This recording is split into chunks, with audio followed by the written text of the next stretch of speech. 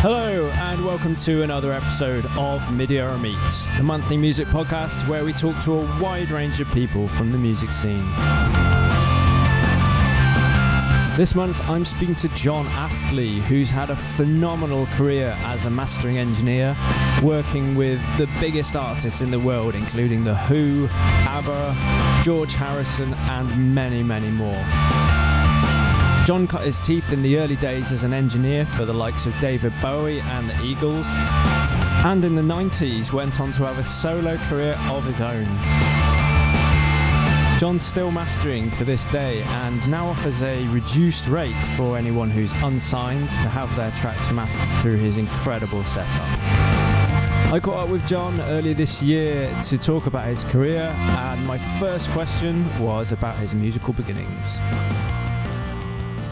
Um, well, my father was quite a famous 60s composer, uh, Ted Astley, Edwin Astley, and he wrote the music for The Saint and a lot of the t- and Robin Hood and stuff. A lot of the TV stuff that you saw on um, independent television in uh, in the 60s. So he used to take me to one or two recordings, um, mostly on sound stages.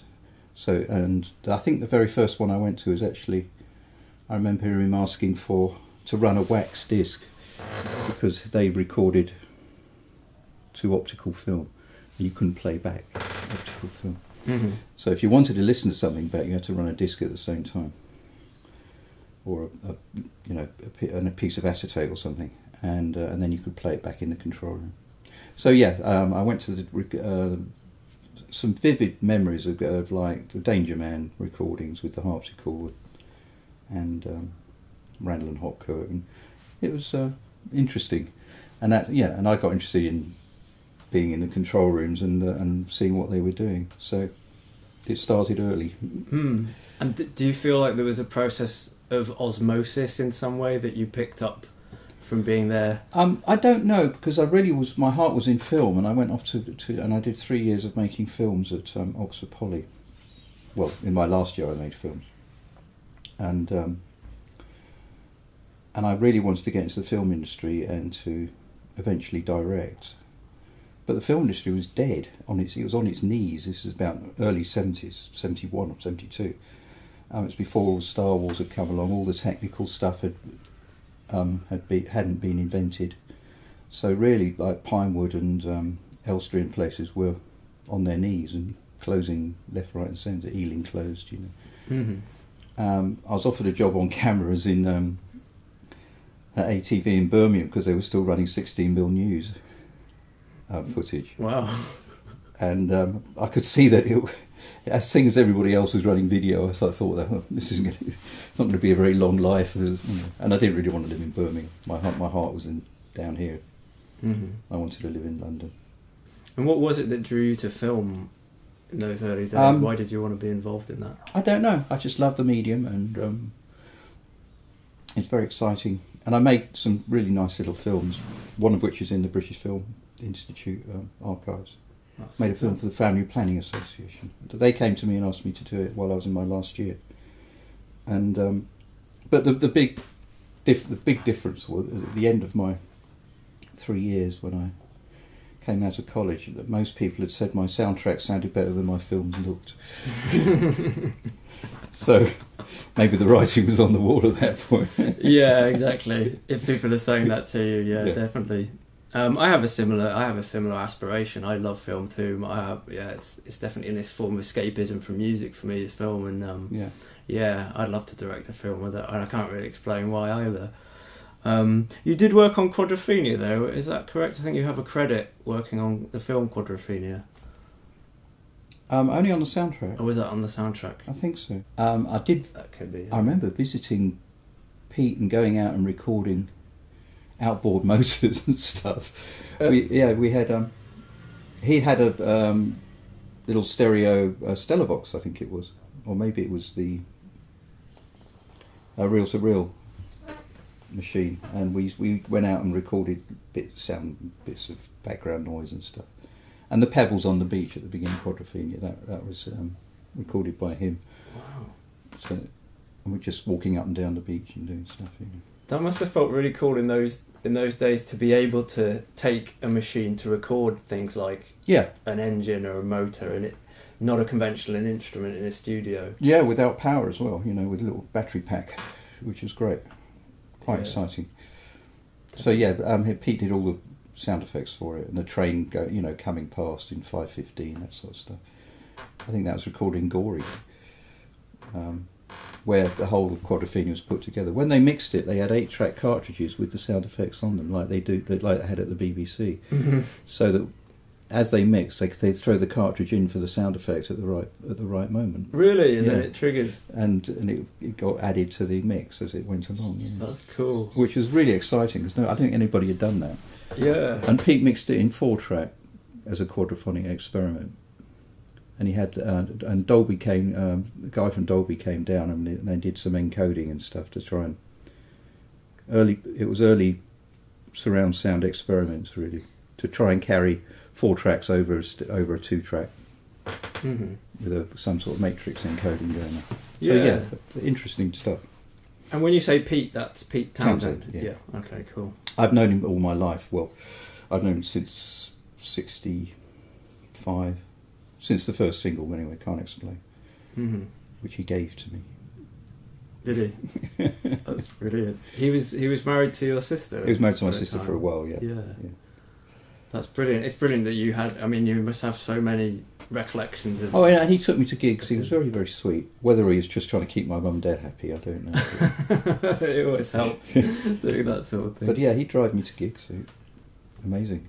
hmm And it's in his old house where where We're, we're, that? we're set in his old house, Oh, and this room. Um, uh, Thunderclap Newman something in the air. A lot of the work for that was done in in this room. Really? Yeah. Wow. with Andy Newman and Speedy Keen. Jimmy McCulloch. Do you remember Jimmy McCulloch? He, he joined Wings. He was the guitarist in Wings. Oh right. Okay. Right. I just I just know Ian McCulloch in the music world, which Yeah. is uh, Echo and the Bunnymen. Yeah, different different family. Yeah. Probably related. That's brilliant. So um, you started out as a tape operator Yeah. in in the early seventies. So I had a job at uh, Radio Luxembourg for a, a few days, and they asked me. Um, a friend asked me to drop by and see him at the Red Lion in Barnes on my way home. So I did that. He introduced me to Keith Grant. Keith Grant was the manager at Olympic Studios, and I knew about Olympic because talking to Pete, Pete had been working there. They'd done Who's Who's a lot of Who's Next there with, with Glyn Johns and um, so I really got on with Keith, and um, I, I said, you know, I'd, I'd give my right arm to work with you, and, and I hear you've got some new 24 track machines arriving, you know, and he said, yeah, he said, um, when could you start? And I said, Monday, and he went, right. So I gave them very short notice at Radio Luxembourg, and I started work at Olympic, and um, which is okay in those days. Nobody seemed to bat an eyelid. Um, but you you make tea basically and look after clients. Very early on, I got into setting up microphones for everybody, making sure they all worked before a jingle session. Jingle sessions used to start at sometimes eight in the morning, Mhm. so you'd be in there at seven, setting up microphones, putting the chairs out. You, you knew what the line. You give them the line up, you know, four brass, two strings, whatever, and you set it all up. The engineer and and then the rec- and then the um, advertising company would come in, and hopefully all the faders would work. The uh, the, the thing was, it really had to work because a a thirty second jingle, you didn't get long to balance it. It was like bang wallop, you know, throw the faders up, make sure everything's going to tape. Yeah, I suppose a, ji- a jingle's a very concentrated piece of And it's music, over, isn't it's it? over in seconds. So Yeah. you, you don't have long to yeah to work at it. Exactly. Well, I've never heard of a jingle session before, uh, but it, it totally makes sense that you'd need to do that. Um, Oh, live it was and in, it interesting, um, and, and voiceovers and stuff like that. You know, we'd had the, the guy who did all the film work. He was Canadian, and he used to come in and go caffeine, and he had this voice down here, you know, on the Fourth of July. and um, and I met uh, Ross McManus, who, who do um, who sang a lot of jingles. He was um, Elvis Costello's dad. Hmm. And he was like the R White's ads. I, did, I, I worked on those R White's lemonade and stuff. And things. And, Oh uh, right, yeah. cool. Are, they, are you st- are you credited for those? No, in no, some no, way no, that no. They're not. I was 'cause most, I was mostly an assistant on them. I didn't really start to do engineering until I'd met Glyn. Mhm. And uh, although I no, I did engineer for David Bowie. Um, he he wanted um, he we were working on Diamond Dogs. I was just the assistant, but we really got on well. And he wanted um, Lulu to come in and do a vocal on Man Who Sold the World, but he wanted to go clubbing. So he said, "You can look after this, Jon, can't you?" So yeah, yeah, great, yeah, of course, yeah. Never done, never done any engineering as live engineering before in my life. Mhm. I've, I've done mixing in, you know, because I used to drag up with the Eagles masters and try and remix them on my own late at night, you know, that sort of thing. Excellent. But anyway, Lulu came in, did that, went to number one. I thought, oh, doddle, it, you know. so and then um, the Glyn, the Glyn Johns things was very was very interesting because um, he's he was known as a bit of a tyrant.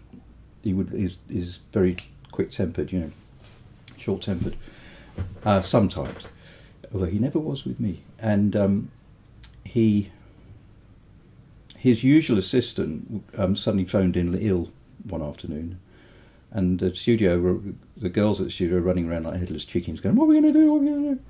And I said, "I'll do it." And they said, "Yeah, but will you?" And I said, "Yeah, yeah, I'd love to do it. I'd love to work with Glyn." You know, so they went, "Okay, on your head, be it. Off you go."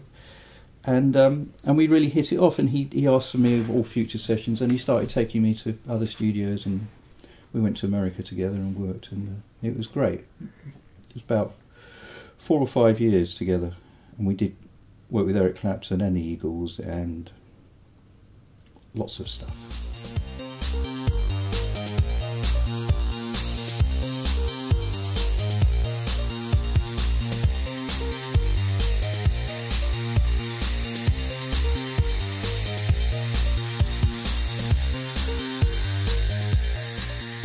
You mentioned in an interview that he had he had a, a knowledge to know when the best take was coming. Yeah, you could say. how is that possible? Like, where did that come from? What? You just hear it all come together, and it's like when you work with an orchestra. It's always, it's usually the third take that, that or the third run through is the take, because they'll run it down where they they're learning these parts, in orchestra, and then the second time they run it through, they're beginning to listen to what's going on around them, and then the third time they run it through, they they perform it. And they and they, the whole thing becomes sweet because they they've they're tuning in with everyone and what's going on around them. Mm. And the same sort of thing does happen in the studio when you've got four or five guys playing together. Um, I mean, it can go on for hours. The, the Stones were just were hopeless. They they they'd start work at about midnight and try and get a take, and usually they go back and listen to the first one they did, and they go, "Oh yeah, well, you know, what on earth were we do- are we doing? You know, chasing their chasing their asses." hmm But they go on all night, but uh, which Glyn would never do. Glyn would only work till about midnight and stop. Generally, just said nothing, nothing of any note is going to happen from this point, and and it's something I, t- I took on board and started to do with people. And, and my engineer, co-producer that I'd worked with um, in later years, used to say to me, "You, you know, you, I think you stopped the session too soon." I said, "Yeah, well." He says, "I know what you mean. You're not going to get any, anything done, but the, it upsets the band, you know, because Yeah. they think they're but they think they're about to get there." But I, Yeah, I maybe always thought, I always thought it was a waste of time. perhaps in the mindset of the musician, Yeah. they're always getting better. Like every take is Absolutely. leading on a path to a better place. Yeah, yeah. But yeah, I maybe perhaps the oversight that you have, you're able to say, "Let's call it a day." Call it a day. Come in fresh. Definitely. Don't don't come in, you know, after a night of trying to get something you're not going to get. Yeah. Oh well. And But so- yeah, yeah. So Glyn and I had a great time together, and and he he I did let well sometimes he wasn't even there, but he let me engineer stuff here here and there. So I, I got to, got on the controls a bit, and then seventy eight. It was with Who Are You? He walked out on that, and the Who asked me to, as producer, to finish it as producer. Hmm. Yeah, I mean, there's a lot of stories about that album that I've read, uh, uh, including it being the last one that they'd made with Keith Moon, That's right. Yeah. um, and him getting kicked out of the band during the recording and then coming back. Sorting himself out. Yeah. Yeah. Um, there's And- also an interesting story about you, uh, Glyn, not being around one day, and you mic'd up the drum kit with Oh, that's before that's before Glyn came in. Was it? Yeah. Yeah, before we started the actual start of the recording, I, I, I- I came in and and with the Who's uh, drum roadie drum, what they call them, Drum tech, I Tech. suppose. a drum tech. Um, who was very sweet, and we set we set up everything, and I mic'd everything. So I thought, Glyn always liked uh, very very basic miking on on kits. He liked with the air. He liked the thing to breathe. He didn't like close mic stuff at all. But I thought there's no way you can make this work unless you mic everything. So I, I did kind of two micings on it, and I got it sounding really good with close mics. Which and I left that up, and I thought, well, let's have Glyn, let's have Glyn listen to that. And then you've probably seen the story where Keith came in and just had a. He said, uh, "What does it sound like?" I said, uh, "It sounds great, but you've not. I've not heard you play." Yes, right, okay. Went in, played for you know, quarter of an hour, and made, adjusted a few things. It all sounded great. And he stood up and said, "How's that?" And I said, "Fine." And he walked, and he just walked through the kit and sent everything flying. I thought, "Oh well, here we go." yeah. All of these. Start again. Yeah. Perfectly placed microphones that are all Yeah, unbelievably expensive. yeah. To him, it's just stopping him do something. And we had to take the um, we had, we had, some Syndrums on those sessions. We had to take them off in, in the end. Do do do, you know all that stuff. Really, like yeah. the electronic. yeah. electronic First one. time we'd all heard them, but it was like driving us all mad. yeah. So Glyn said, "Find, find a dustbin and put them in." They are cool. Yeah, I think I think you're right. Limit limiting the Syndrum is probably a good idea. You can't have. You It's not really the Who, is it? no, no. But what was interesting listening to that album, Who Are You, was um, obviously the strings in it are incredible. The strings sound absolutely amazing. My dad. And yeah, yeah. That- so was that cool asking your dad to come and work on something that. Oh, Glyn had asked him. Oh, how did because he'd worked with Glyn before. He, um, he, we we did uh, the rough mix stuff with Pete and Ronnie Lane, Pete Townshend and Ronnie Lane, and my dad had come in and done a string arrangement called Street in the City, and Glyn was completely blown away by this. It was just uh, it was a beautiful piece, Mhm. and uh, and he went on and did some more stuff with Pete, which came out on Pete's solo records. Um, much later. But then he started to use my dad for the odd orchestral sessions. So when it came to putting strings, and this was quite early on, before obviously before Glyn left, he, we put strings on um, "Love Is Coming Down" and uh, "Had Enough," wasn't it, Mhm. on the on that album? Yeah, they're really amazing I- orchestration. And they were done in in the, in the big room at Olympic because uh, Ramport was too dead to do strings; it's too small. Ramport's where we recorded most of the album. hmm We went to RAK Studios for a week. We, we went, I don't think we kept anything from there. And then we, we Glyn mixed it once at um, Olympic, and then I mixed it, remixed it at CTS at Wembley. Um, because um, they wanted different mixes doing it. hmm They weren't too happy. Right. And uh, what was also nice on that is the synths. There's a lot of synths. There's Yeah. three or four tracks with some lush, lush synths. Was that was that Pete Townshend? That's Pete, yeah. He'd, he- he'd, he'd come in with demos with those all mostly on already. Um, he used the Yamaha CS80 a lot, the, the poly, poly synth. the Vangelis. Yeah. synth. Yeah. And then um, John Entwistle had a, um, a Moog, but it was polyphonic. It's the first polyphonic Moog I come across. hmm I can't remember what it's called. The polymoog. I think it might so, be yeah. the Polymoog. Yeah. But great synth sounds. Really lovely. Um, my ears, my ears just tune into synths whenever I hear them, and uh, yeah, it was.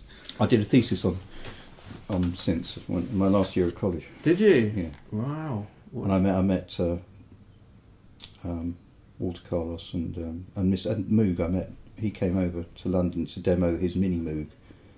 And after the the, the demo, I sat with him and we talked about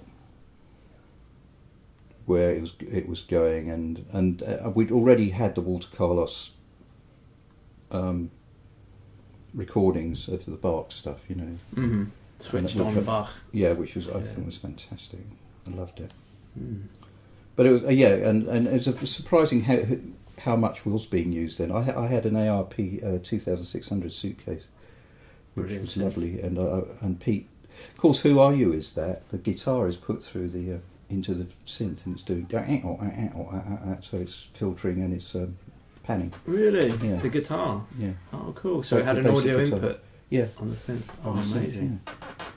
Yeah, I think those synths opened up a diff- a new sound, didn't they, for a lot of bands? Well, the Beatles were using them, but you know, use it like a French horn or something. You wouldn't be. Able To, sometimes you come and listen to it, and you think that's not a French horn; it's a synth. Uh, But but most people would just say, oh, that, "That's a French horn." Yeah, which is it's quite interesting then maybe to go onto the Fairlight because you picked up a Fairlight, which was a sort of a sampler synth, Mm.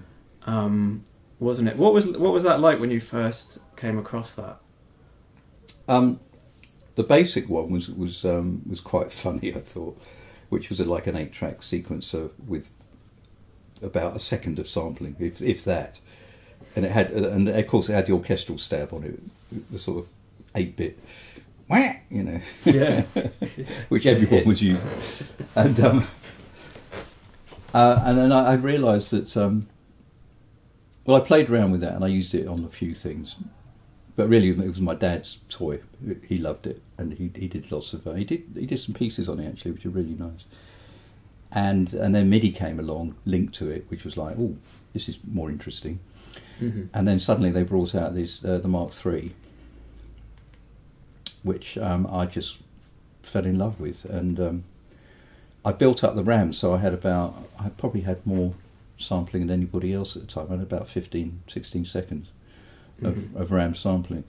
So I could, suddenly I could do loops of drums or singing or guitar riffs and on, on my first album the guitar riff in, in the opening track is, is a is a loop it's it's a multi it's multi sampled so it's not the same each time it goes through so that was quite fun to be able to do that sort of thing and of course uh, I suddenly got booked for because I could fly in backing vocals from one chorus to another and uh, so I was getting booked to do that sort of thing because no you couldn't do that you can only do it with tape Mhm. and to do it with tape, it was like, here it comes, bang. All start again. That's a bit late. That's like we've all done on listening to the radio, trying to take the song that you want off the radio, wasn't it? Like, oh, I missed it. Missed damn it.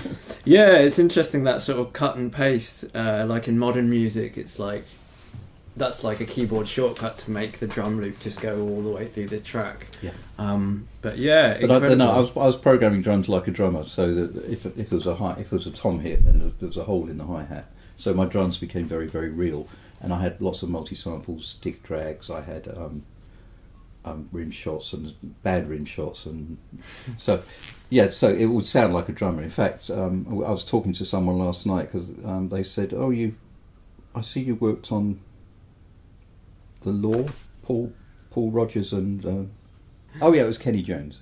But anyway, yes. so I sat down with him and, and we sat and programmed everything together right, using, drums. using his drums. Amazing. Yeah, That's good. it's what the producer wanted. Chris Kimsey, who, who produced the Stones and, and people at the time. hmm Yeah, because you spoke about the Fairlight changing uh, the way that you made music because studio time was off could often be uh, not very productive in a full day, and it's cost you a thousand pounds to be in the studio. So the Fairlight um, enabled you, from what I've read, it enabled you to work on stuff. To map to map things out. Yeah. Yeah. Certainly, when I worked with Corey Hart in Canada, we, we took the Fairlight and we went into the rehearsals and mapped everything out with.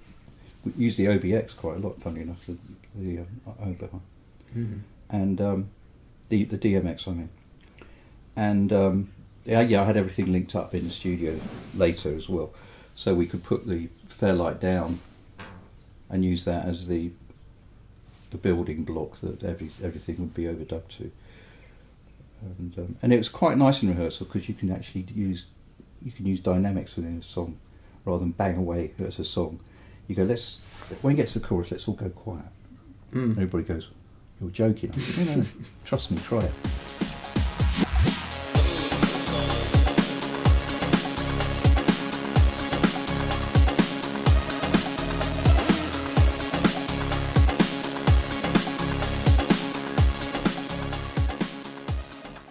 Yeah, we had a lot of success in North America with Corey Hart. He was never he was never known over here, but uh, Yeah, but even I do know that song, like Sunglasses at Night. I think it had a resurgence, maybe around two thousand and five. Yeah, they used it for an advert, didn't they? Oh, I did think. they? I think so. Yeah, I remember DJs playing a song with that vocal on it, so I always thought that that was the original. that was about- because he, he he turned up on my doorstep here, funnily enough, Corey, and uh, he said, "I want you to produce my next record." And I said, "Well, who are you?" And he had little cassettes with him, so we sat down and, and I thought, "Well, this is great."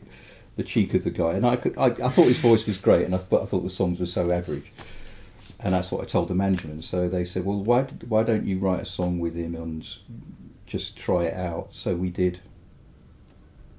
So yeah, it was Sunglass at Night, and we went to Manchester. Used all my guys in Manchester, where I work a lot. I used to work a lot, and I drive Cor- Corey up and down the motorway, and he, he said, "I've got the I've got the lyric. I've got the, I've got the lyric. Do you speak American?" I said, "No, no, it's not. No. Try again, Corey." and after about three journeys, he went, "How about Sunglass at Night?" I said, "Right, that's good." It so, is a- so, yeah, so It's a great hook. That is. I think I've had that in my head for like the last week since I first re- relived that song. it really does stay in your head, and it's it's and we a- ripped off the Eurythmics. It was Sweet Dreams, basically. is it Well, yeah, if you listen to the track, it's it's a rip off from, from Sweet Right. Dreams, yeah, which was a big hit at the time. It's a really enigmatic sort of lyric because there's, there's there's there's definitely another side to it than the face value of just wearing your sunglasses at night. You know, it's Yeah. it's really quite an Yeah, interesting. it's good. It was, uh, it was lyric. good fun, and we went off and did. We made a couple of albums together. Then he decided he wanted to produce himself, and that was it. He died.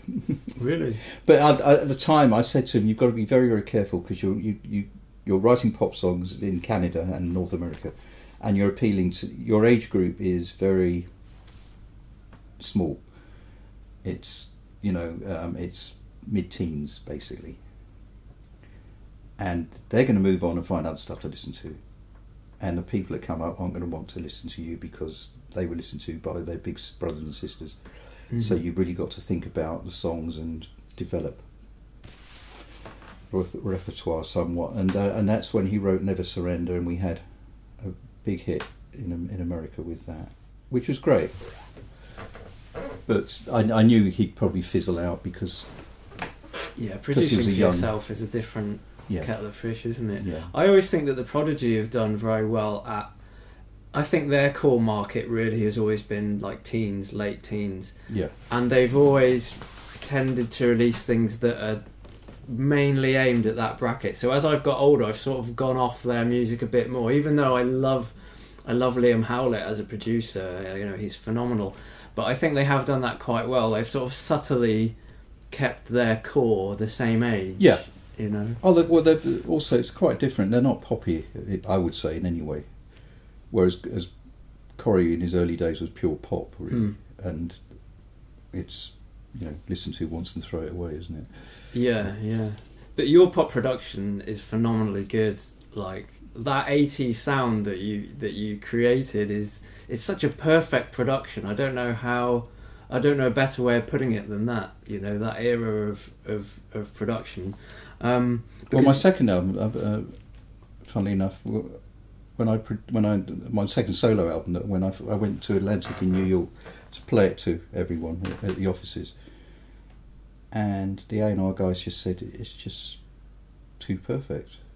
It's ridiculous. It's just.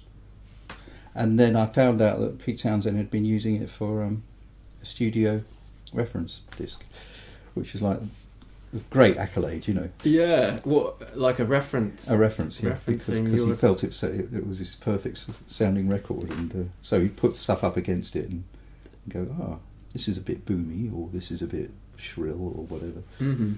And, Wow. Did you ask him for that in writing? Did you ever get that in writing? No, no. I just heard that through someone else. I, I never asked him about it, That's amazing. Is that your album, The Compleat Angler? Is that the second one? Yeah. Yeah. Which has the perfect pop song on it, which is called "The Menu." Right. that's not one that's come that I've come No. across. Yeah, your pop production's brilliant, and um, so you. yeah, what led you?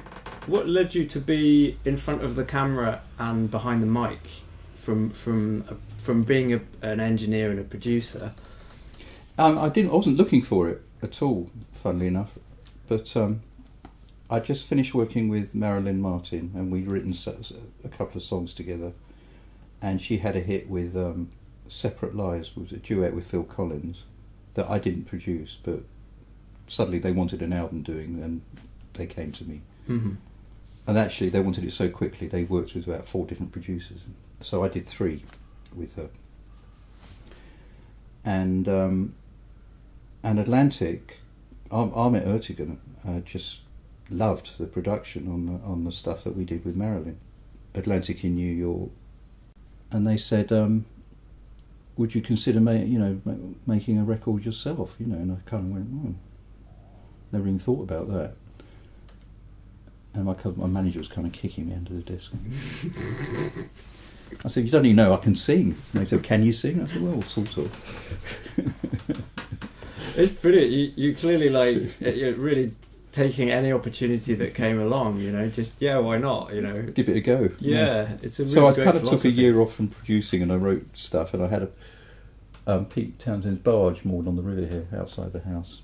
So I, I went in there with my fairlights and machines and samplers, and I programmed everything up for the first album, and we had a hit in America with um, a song called "Jane's Getting Serious," Mm. which is on it's on YouTube, yeah, and that was fun. And I, but I didn't want to tour. I didn't want to play. I didn't, you know, it was wasn't something I was really looking forward to doing. So I kind of ducked out. But they said they wanted another record, so I did a second one for. I did make a third, which I, I think only got released in, but not for Atlantic. I think it got released in Japan. Mhm. But um, yeah. I think there's there's an element of humour in your music. that that's something made. you've got to be very careful with in America because musicians are a bit like actors; they're taken very seriously, the arts. And if you're too flippant, they kind of turn off you. Mhm. So you, I think you've got to be very careful with that. It might have been a mistake with me because in all my interviews were quite funny and you know that I was known as the king of quirk. That's what Atlantic called me Really. for a while. You know, so I kind of went along with that and it was like sort of Thomas Dolby kind of thing going on. You know, Yeah, I mean, even the album title, uh, "Everyone Loves the Pilot Pilot. Except the Crew." That's just that's just a really funny album title. It's a great title, and it's the true thing that I, no one's ever thought of before. Actually, yeah, maybe the crew don't like the pilot. Yeah, I think it's brilliant. Uh, maybe as Brit, maybe as British people, we have a bit more of a connection to the, the self-deprecation or the humour of it. exactly that. Yes, we do, and um, and yeah, the arts are taken very much much more seriously, as I said in America, where you're considered to be have to take it very seriously. Mm. Yeah. So yeah, flippant lyrics and tongue-in-cheek stuff doesn't go down too well, really. It's the, it's the it's the lack of irony, isn't it? They have, but Um, colleges all loved it. It was funny because every every college in was playing my record to death, really. so students loved it. But um, it was the mainline radio people who kind of went, mm, "Is this serious or not?" You know. It that was was it a bigger hit in America? It- Oh yeah. yeah. Yeah. So yeah, you clearly did something. Yeah, you clearly did something right that didn't go over overly funny or humorous. No. That- yeah. And I I, got I got recognised for the first time in my life, which was a very odd thing. You know, go and check into a hotel in New York and they go, "Oh, Mr. Astley," and it's like, "What's all this about?" And um, and I, MTV were fantastic because they made it a hit pick of the week, so they played it every hour for a week, on the hour. Yeah. Wow, that's great. Yeah. That's really great. I think it's a very rare. You're a, a rare example of a producer who's Crossed gone. over. Yeah, who's crossed over to be. Uh, yeah, had a solo career as well as doing the mastering. Um, normally, you get you get a type of person who's a producer or like Yeah. that that doesn't want to be in front of the camera. But it's great that you embrace that and you. you I think it all helps. You know, the final thing as being a, a producer. If you're an artist for a short while, a lot of a lot of artists become producers, for sure. Mhm. But to go from producing to art to um, to being an artist is, is is a bit unusual, I suppose. Definitely. The wrong way around. Maybe you have more like empathy with working with artists then as a producer and mastering engineer. yeah. Uh, Yeah. You know how they feel about the music to a certain extent. Well, when I started mastering, which was probably in the nineties, I think I can't remember roughly. Um, Max Hole, who who was the head of Universal Records here, said to me, "Oh, you'll be good at this because you've got a very good bedside manner." I said, "Oh, okay." And uh, of course, what what he meant was, you know, I, I can sit and talk to artists, and That's good, yeah. and that's because of the background, and, and uh, partly from being an artist, and and probably goes back to being a, a tea boy and knowing how to top up Eric Clapton's drink, you know, as you do. Yeah, and yeah, and well, yeah, David Bowie, the Yeah. Rolling Stones, the Eagles, Yeah. yeah, incredible.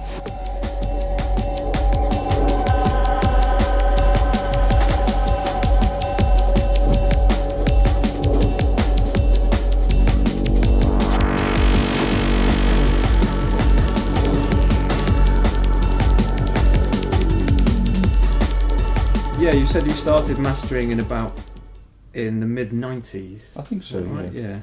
Yeah. Um, The Who For the came. Who. Well, the Who came to me and said, "Would I look after all their reissues?" So I said, "Okay." So I went into Polydor. We had meetings, and I said, "The problem I've got is a lot of the master tapes seem to be missing. I've since found them. Most of them were, were stuck in a, a library within a library in uh, MCA in uh, uh, in Los Angeles." wow. But um, what the Who had were all copies. So, and sometimes second generation, you know, third generation copies. So, I said it's okay remastering from these, but we'd actually get a much better and more interesting perspective if if Polydor would let me remix it. And Polydor went, "Wow, that's a great idea." Yeah. So, we had most of the multi tracks.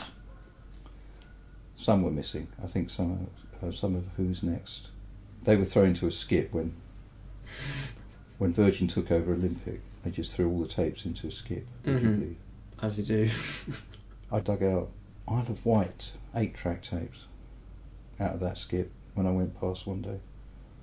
Jimi, Hen- Jimi Hendrix Isle of Wight tapes, Wow. yeah, Incredible. which I subsequently gave back. But someone found half the Who's, Who's Next tapes in there, but the other half were missing. So that will, that will never be remixed. And um, and a quick one. Kit, I think, burnt the masters after they finished the album in some sort of celebration. Really? That's the story. I, I don't know if it's true or not. wow. Yeah. That's a bit like the KLF burning a million pounds, isn't it? Yeah. Like, it's probably seemed a good idea at the time. Yeah. It seemed like quite a, a renegade activity. But yeah, so, how so yeah, you- and, and then I went to um, to master what the remix is with Bob Ludwig, who's been a lifelong friend. He um, he's always mastered my productions, and um, when he was in New York, and he and then by this time he built his own place up in um, Maine, and so I went to visit him, and I took a couple of Who records that I'd, I'd remixed, and we did those with all the bonus tracks and stuff, and I said, "So what are you doing now?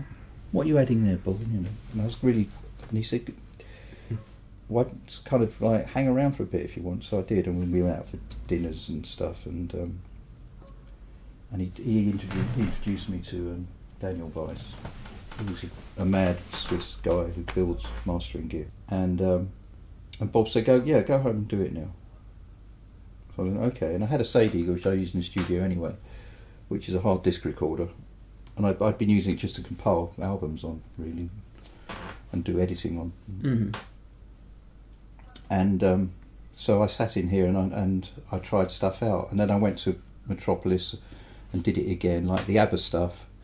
I try it here, and then I try it in Metropolis with a, a mastering engineer, and I listen to the differences, and and eventually I sort of got up the courage and and, did, and started doing it properly. Yeah. It takes a long time, I think, to understand what's going on digitally. It's a, funny medium. Absolutely, yeah. There's a lot of nuances and, and details within the recordings and, and variables from one recording to the next. Sure. I remember reading about you having some difficulty with George Harrison recording that Phil Spector had done. Oh, well, the My Sweet Lord stuff. Yes, yeah. yeah. No, the, the problem with it was that I'd, it, he came to me for remastering.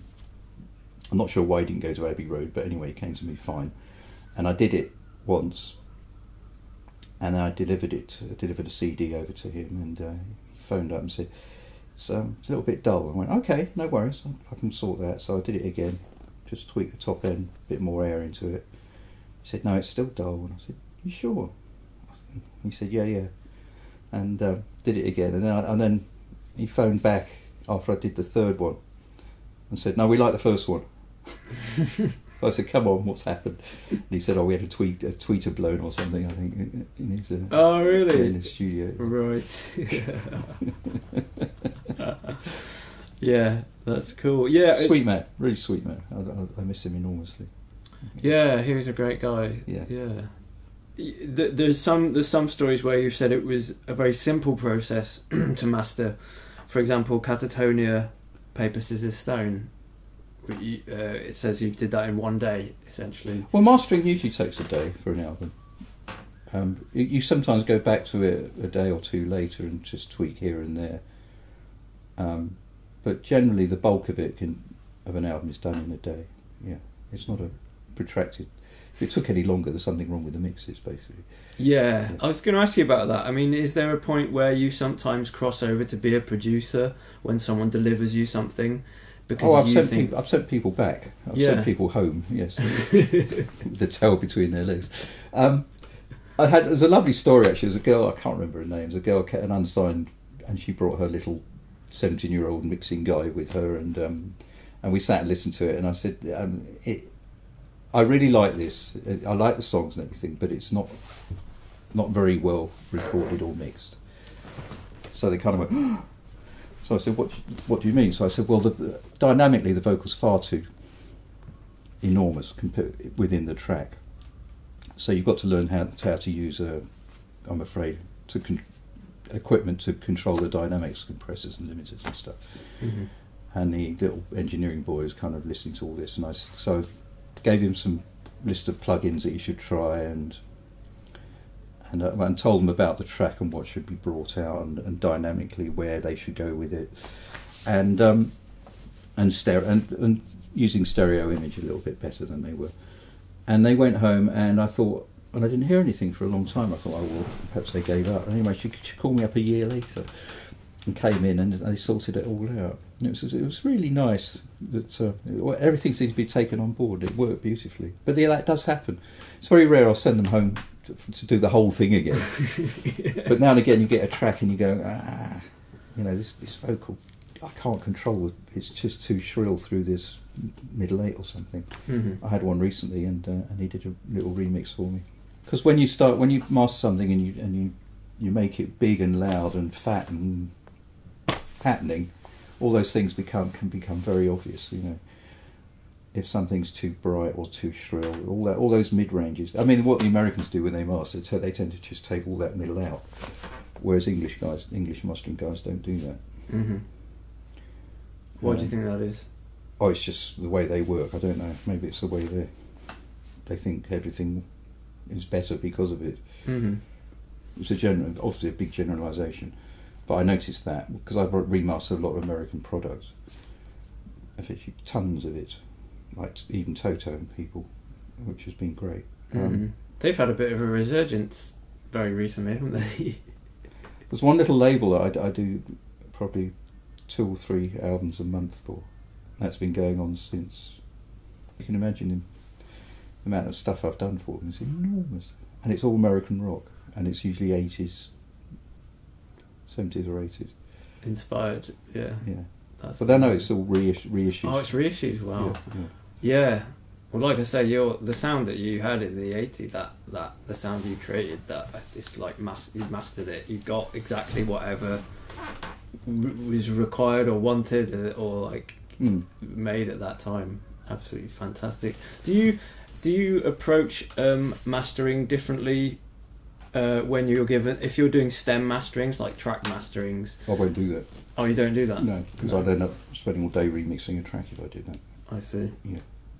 So I, I want to hear it how they want it, wants to, how they imagine it finished. hmm and um, and then I might say, go back and make the drums louder or something. But I'm, I'm not going to get into doing that. It just takes it would take too long, hmm and I'd lose I'd lose my perspective as well Yeah. myself. You know, like we talked about earlier, where it's important the mastering engineer to hear something fresh with fresh ears, and he can immediately go to where he feels um, it might benefit or it might be slightly better for for for um, changing EQs or compressions or whatever. Mhm.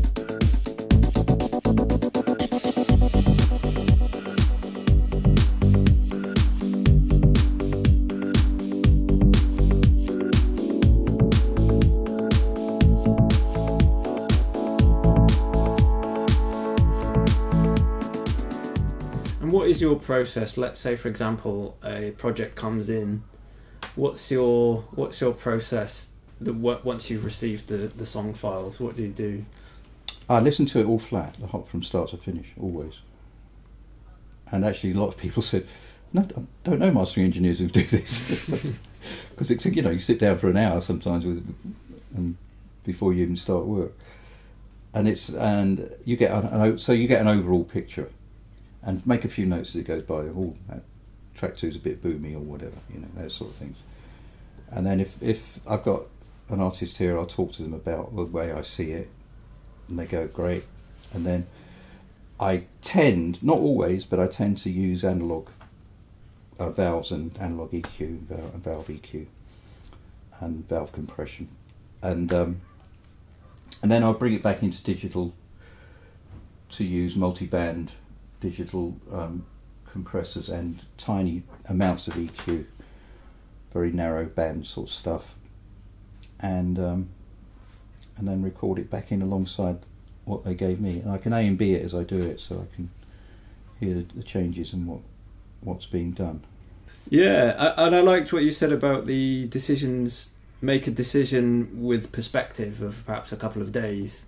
Um, burn the track to a CD and live with it. Yeah, a good. it, it's nice to be able to um, I stick a CD in the car and go with it or whatever. But generally, I, I in a, on a morning I would come back, come back down in here that within two days. Maybe maybe wait for a weekend and just listen through what I did. Mhm. Generally, it's fine. It's funny enough. I just I added two tracks to a finished album this week, and listening to what I'd done before, it's just it's a tiny bit boomy, it's a tiny bit. I mean, talking, and um, I've asked them if I could uh, for them to check it and see what they think. Yeah, so I might go back and do that. Mhm. All revisions I do for free. I don't. I, it's something I.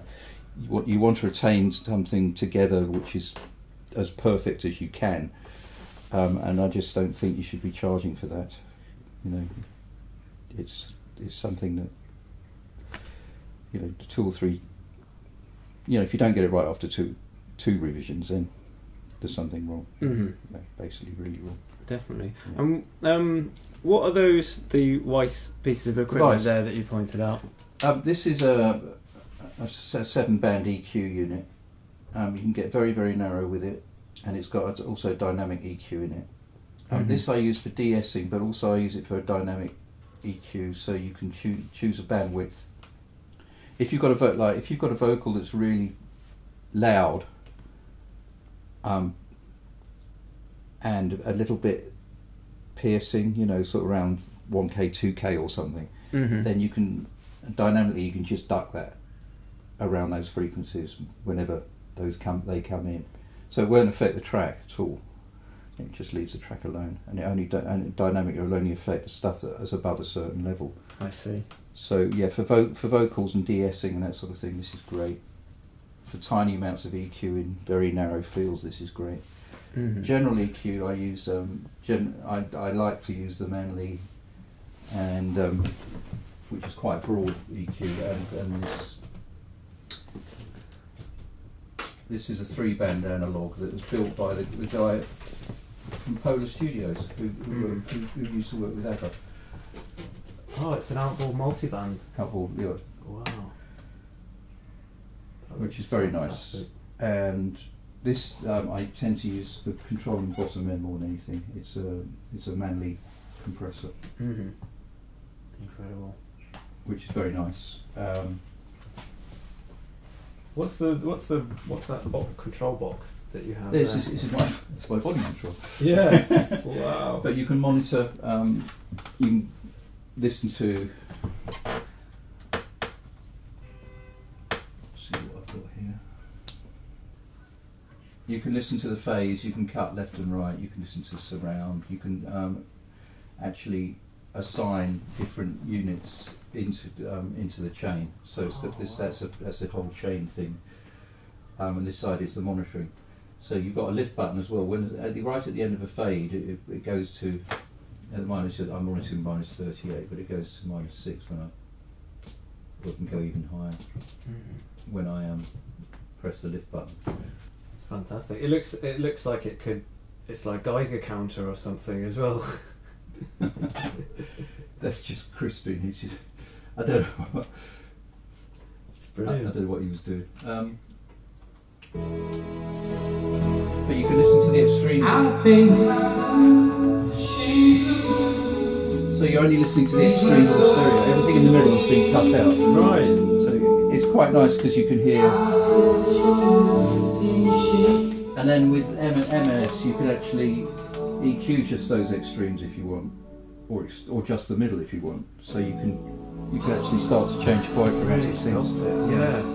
What? Why would you do that? In what situation? In what situation would you remove the center channel? Like, why would you go to? I wouldn't that? remove it. I, it's just for listening to to the extremes and thinking, mm, you know, they're a bit bright as they are there.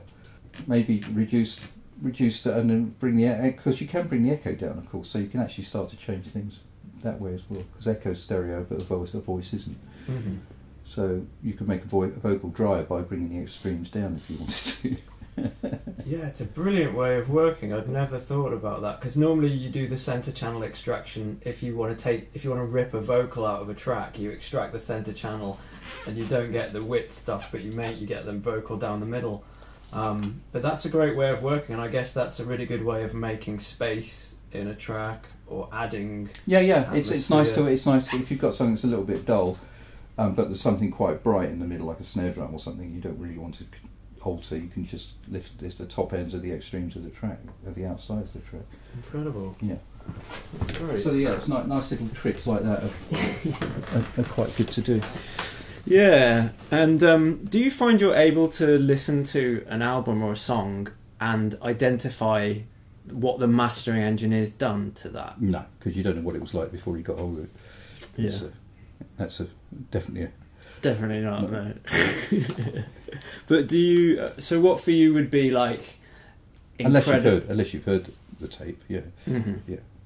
Because I know for me, like I pointed out, I spoke to a, um, I spoke to a producer called Ade Fenton who's produced Gary Numan's last four albums. All right.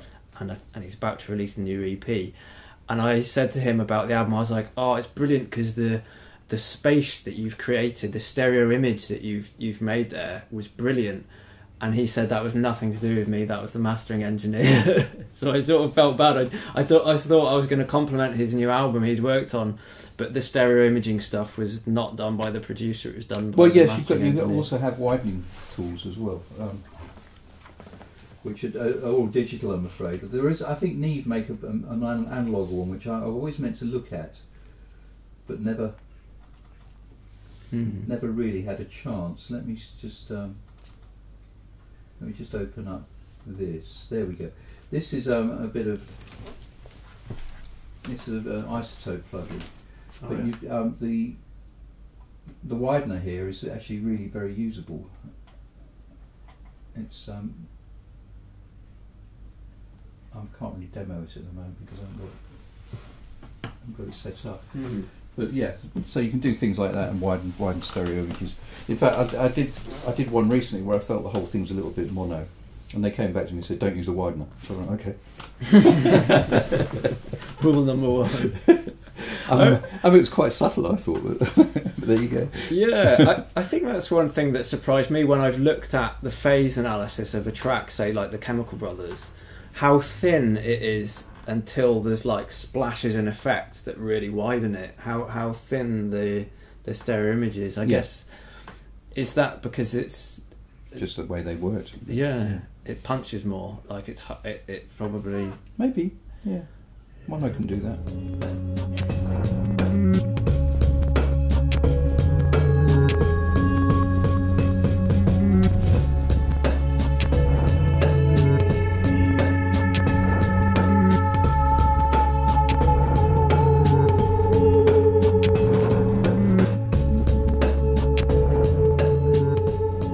Would be for you like examples of incredible mastering that you, that you that you admire, or perhaps mas- mastering engineers who you know that really were Well, Bob Ludwig has always been my go-to man.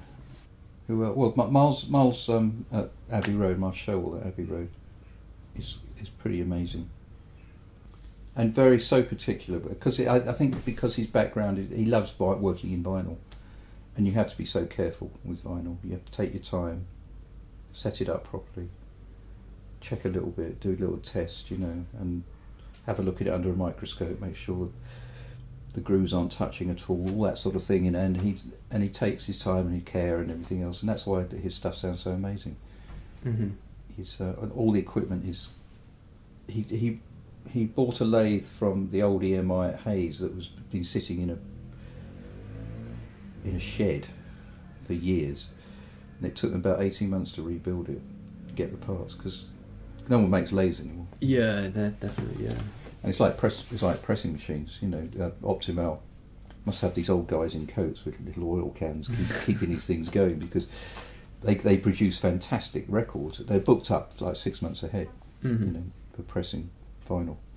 And no one's making pressing machines, so you, they have to be looked after and rebuilt every now and again. Definitely, it's Yeah. like seeing tape in a studio. Um, Yeah, there's a lot of maintenance that goes into it, but um, I guess you know people like that are really into the sound and they know the benefits of, of cutting to tape or recording to tape. Drawn to tape. It. I think it's. I think it's had it. Do you think? Yeah.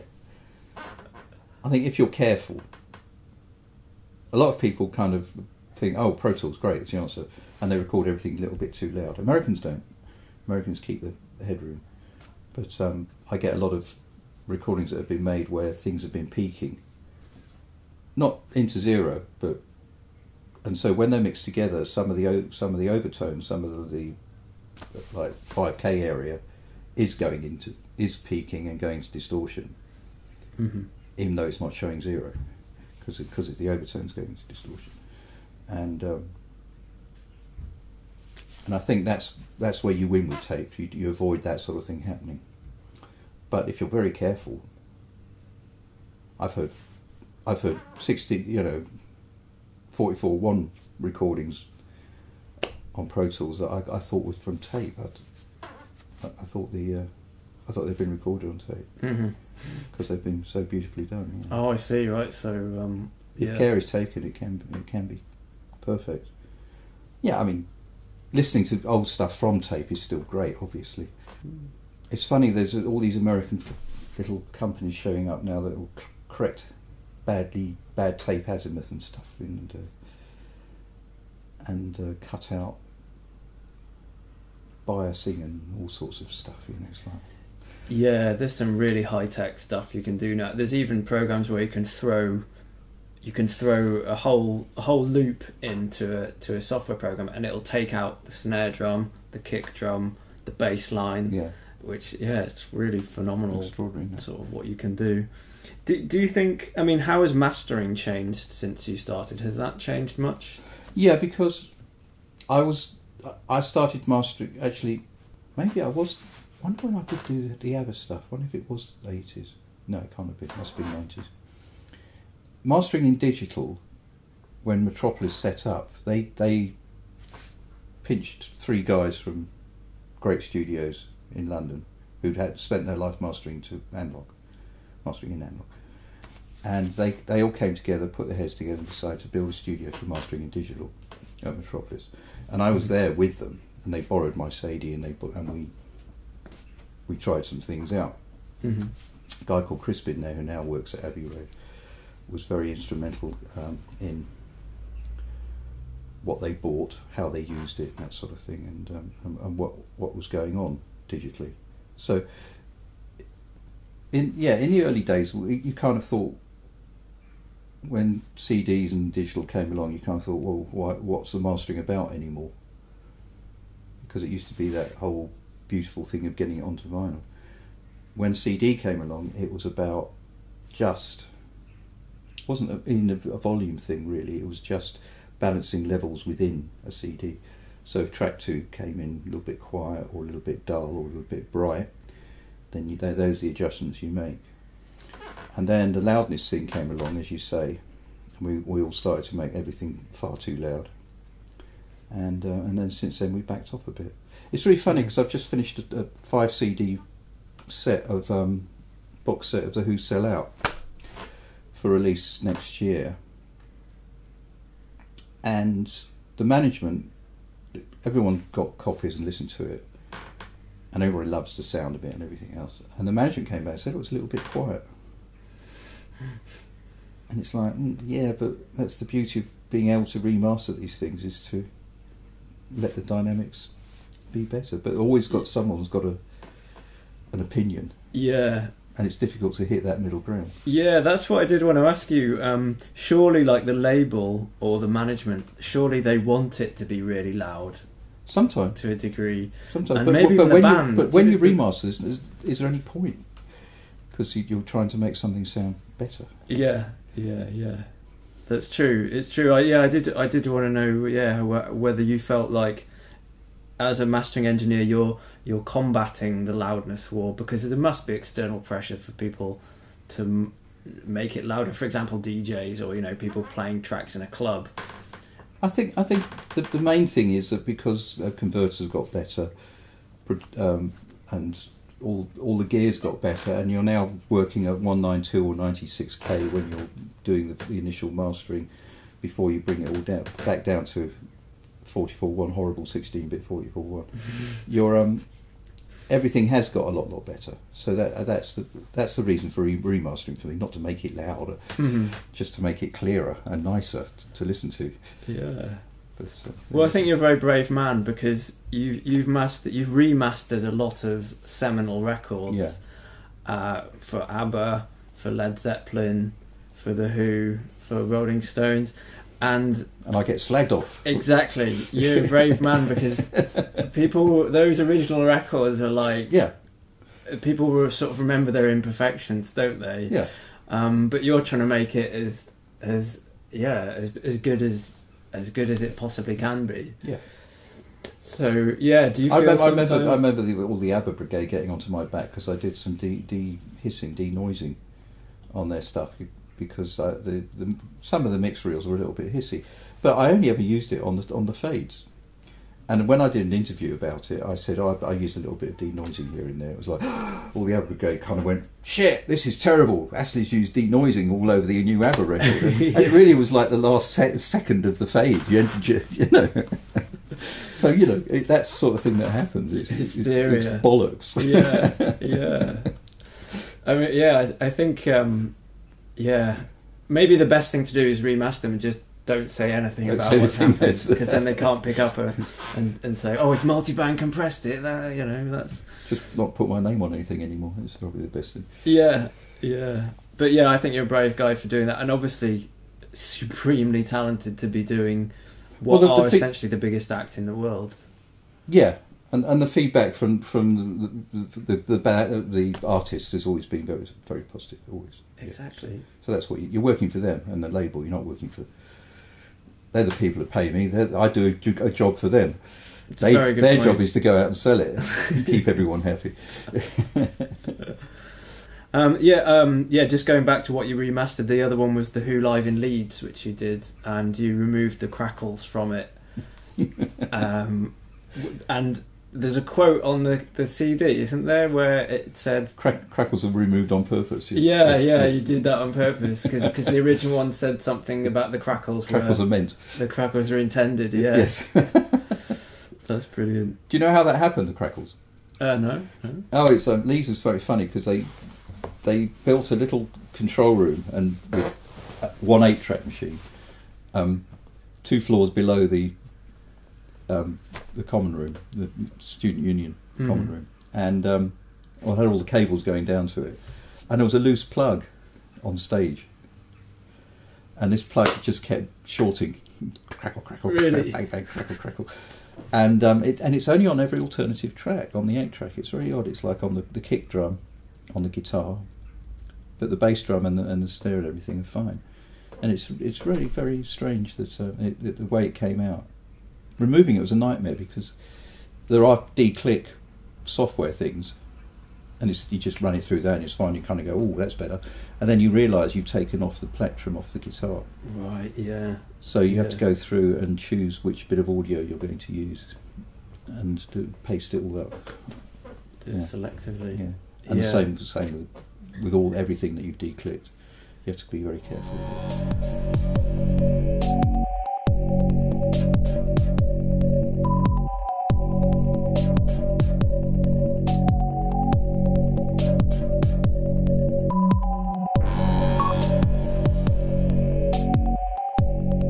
I guess okay then. Let's talk about your um, the mastering service that you offer for unsigned artists. Unsigned artists, yeah. Um, yeah, it's a fantastic thing. So, yeah, can you describe how that started? Or- It started when Sound on Sound came to me and said, "Would I um, be offer a prize in a competition?" So I said, "Yeah, I can do that." So I said, "What's what's going to happen?" They said, "Well, we'll collect up people's home tapes, and we'll send you the best ones that we we think." You know, when they sent me hundreds, it was like. So I was in the back of the car going. you know, It was like Drive- the skip, to like the skip with the Rolling Stones reels. Yeah, except it was the back seat, you know. Oh, this is good.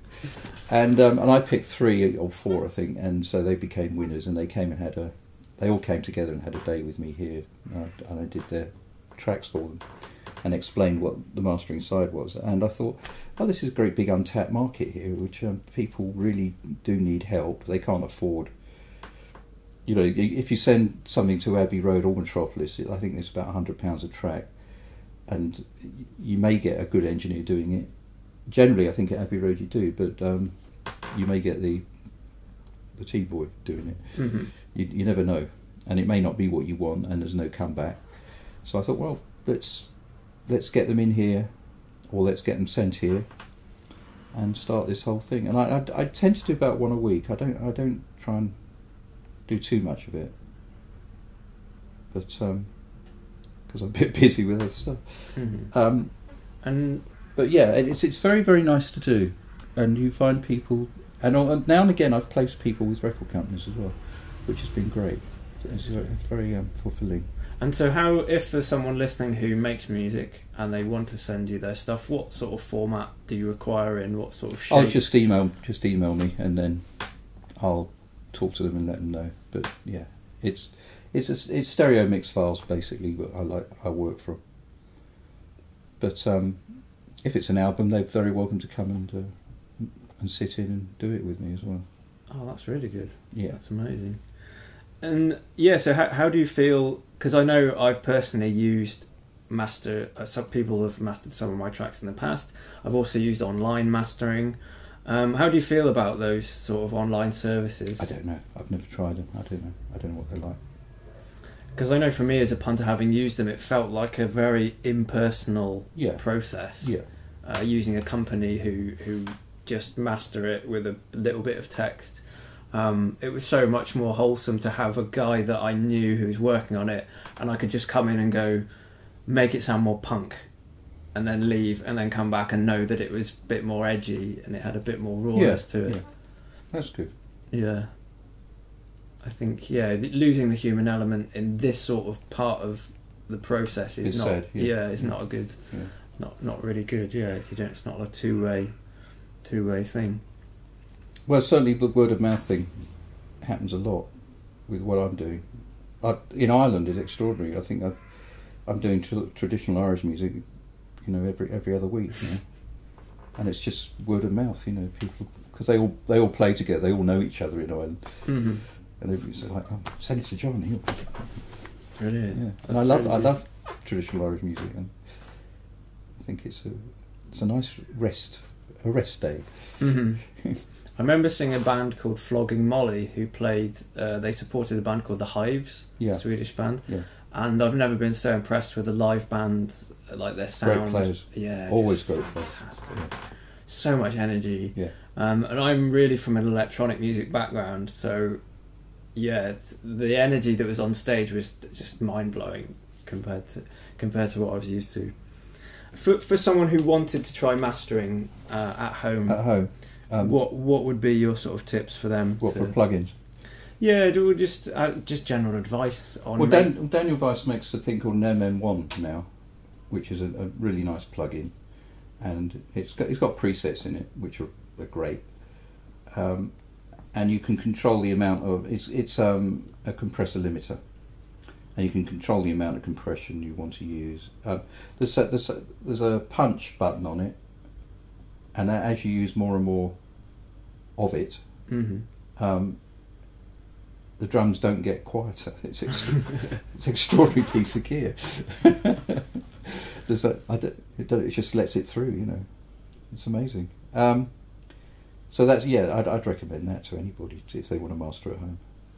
Just Mhm. bung it through that. It's like a lot of people were using the L3, uh, the waves, for for years and years when it's just to bring their masters up to their mixes up to a mastering level. Mhm. But I'd, I'd use an. This has now kind of superseded it. It's a nice piece of gear. Yeah, and do do you think when someone submits uh, their track to you to be mastered, should they have no effect on their master channel? Um, uh, that's a, a, a depends a lot. Um, if it's something that they like the sound of that's affecting the whole track, then yes, by all means use it. Don't overdo it. That's that's always what I say. If it, if they want something, they can always send me both Mm-hmm. without the stereo bus and with the stereo bus, and then I can pick and choose which one to use. But if they, very often I'll get sent um, commercially um, something the engineer has done as a listening copy, which people love, Mm-hmm. and so I can A and B what I'm going to master against that Right. sometimes, which is quite quite useful because. Um, it means that they he's got a volume that's they're happy with, so you don't have to go necessarily any louder than that, which is great. And it gives you an idea. Um, but usually they just use it like an MM1 or an, an, um, waves, uh, you know, L3 or something, L2. Mm-hmm. I think the um, solid state logic compressor on on the stereo bus or limiter is very nice.